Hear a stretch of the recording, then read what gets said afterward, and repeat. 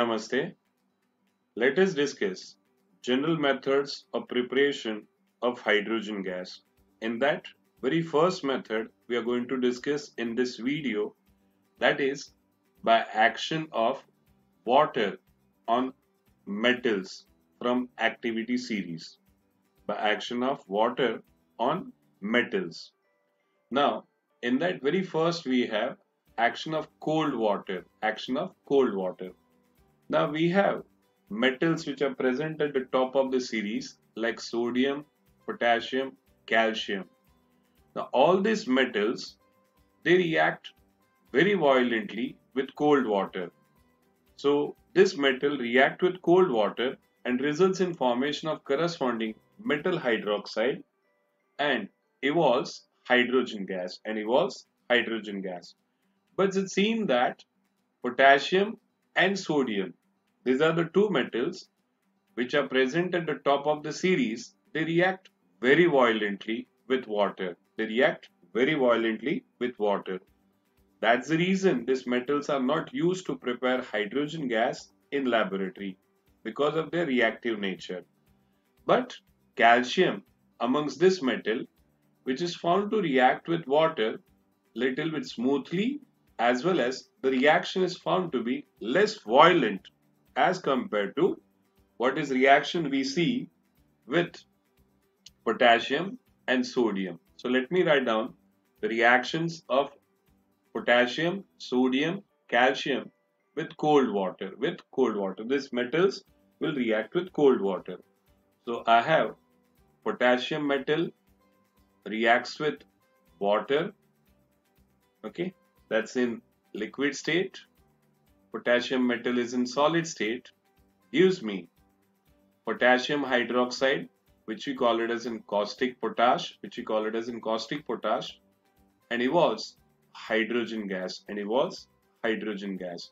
So post, uh, you have potassium hydroxide will be present as an aqueous solution. That's what we call it as an alkali okay?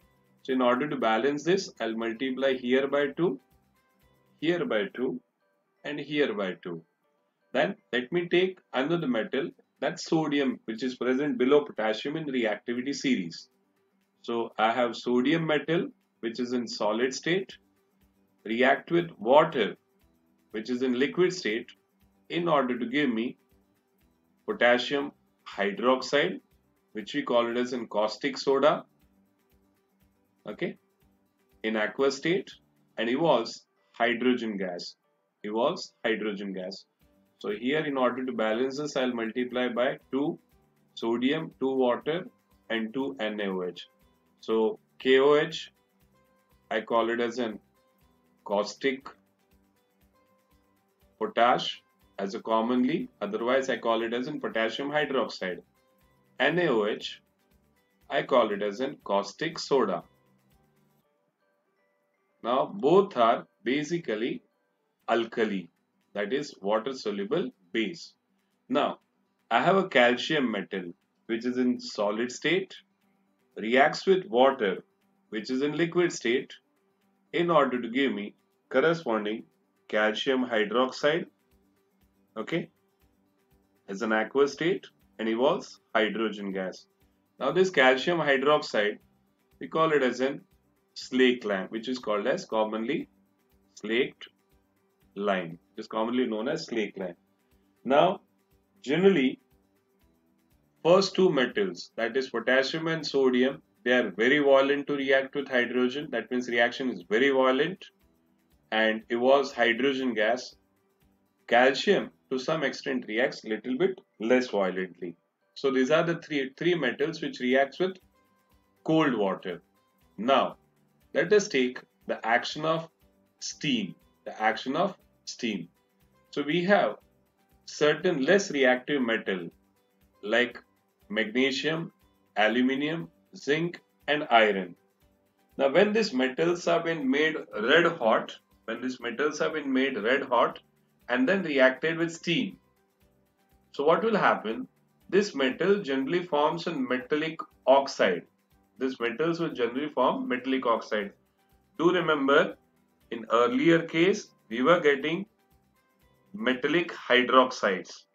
here I am getting metallic oxide and once again evolution of hydrogen gas is there in this case. Now a point to note here the iron metal in this will react with steam but the reaction is found to be reversible.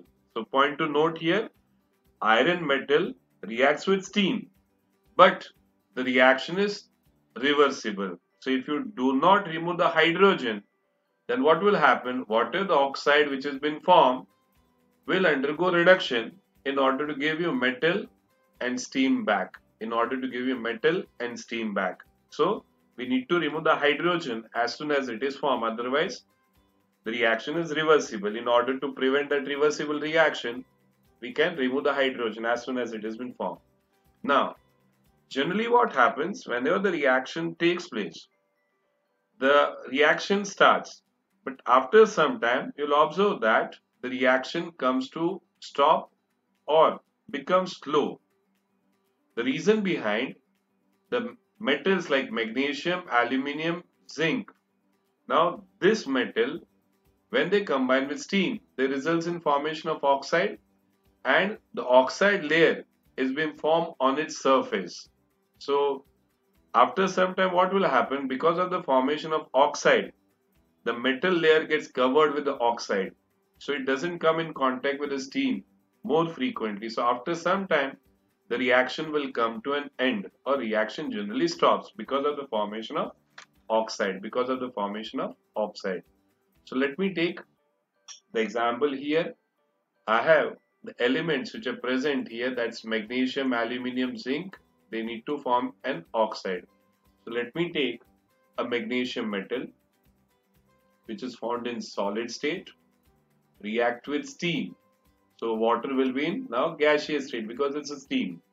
So as to give me MgO that is magnesium oxide in a solid state plus hydrogen gas is evolved. Hydrogen gas is evolved.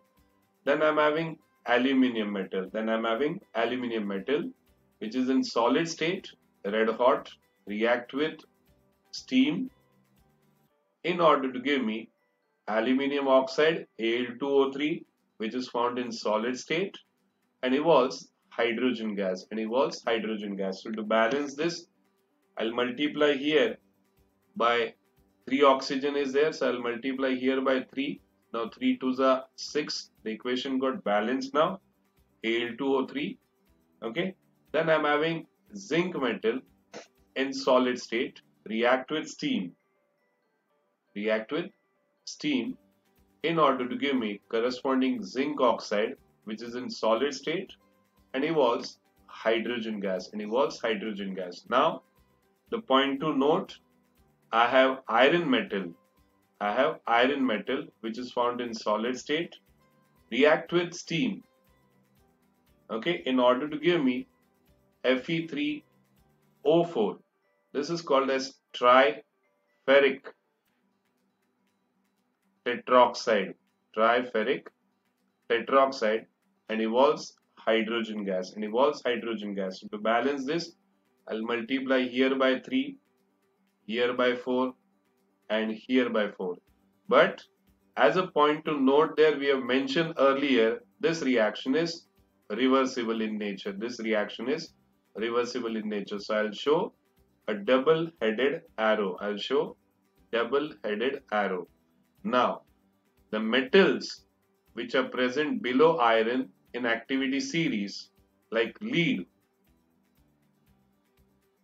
and metal below lead do not displace hydrogen from either boiling water or steam. So below lead, we do not have this reaction possible. So we don't write that because lead and below lead metals do not displace hydrogen from any of the acid, any of the water like boiling water also there or you may react with steam you don't see any kind of change takes place okay so in this video we covered with the reaction the general method of preparation of hydrogen gas by action of water on metal from activity series. Hope you must have understood. Thank you for watching